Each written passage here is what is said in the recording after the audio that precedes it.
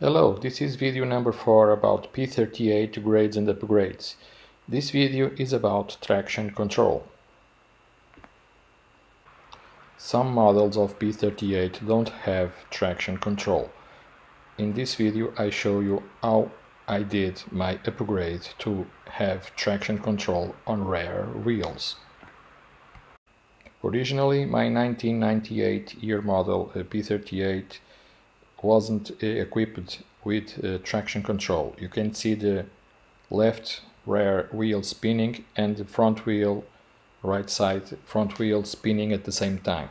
And at the same time the here the rear wheel on the right side is not spinning. The car is not even trying to get unstuck.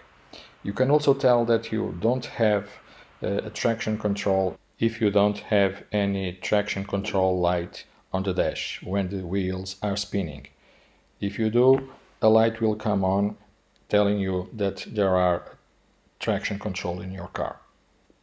So after finding that my car was not equipped with uh, traction control, uh, I tried to find the parts that I need to check and to find the parts that I needed to replace.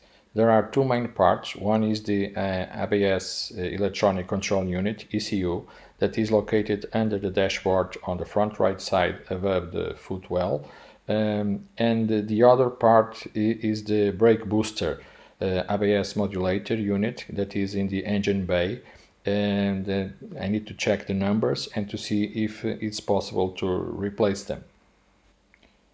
The first step I did was to check if my ECU part uh, is the uh, the part number ANR4898 and it is in my car that's the part number that's the ECU that I have on, on the car. Then I just needed to replace uh, one part. That's the brake booster. Uh, the, the, the part that is in my, was in my car was the ANR the 2238 and I replaced that by the ANR 2239 it's the same size part. It fits uh, perfectly. It's just you just need to um, take one out and put the other in. After replacing the brake booster uh, I just uh, bleeded the system uh, following the procedure that's on, on the RAVE. You can find that on, on the internet. Um, and that's it. Then I just try the car and you can see now in the same in the same location now with traction control, the car starts spinning, but the right wheel takes the car out. Perfect.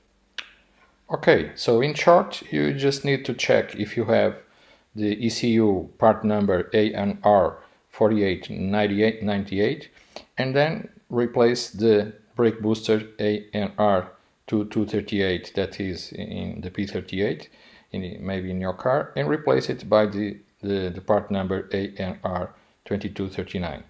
You do that and you, you will have a traction control on the rear wheels of the Range Rover P38.